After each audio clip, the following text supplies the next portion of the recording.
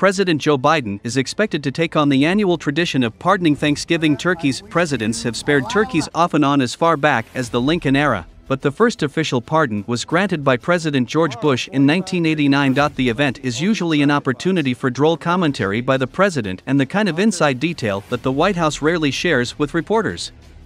When former President Donald Trump was in the White House, he made impeachment jokes while pardoning the holiday bird. While pardoning two turkeys in 2006, former President George Bush made light of the situation the birds have found themselves in. The pardoning of the turkeys will set in motion of a flurry of holiday events in the White House as the 2023 year comes to a close. It's a fine looking bird, isn't it?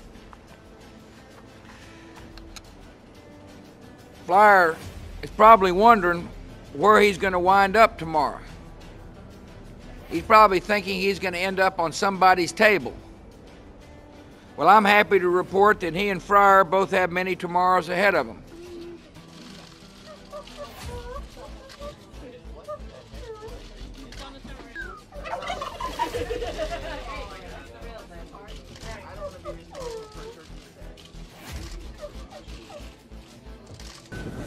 Yes.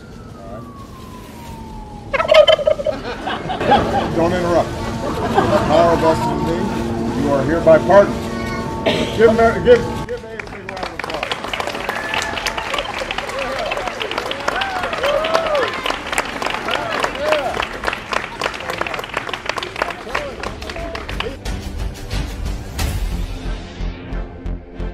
I hereby grant you a full and complete pardon.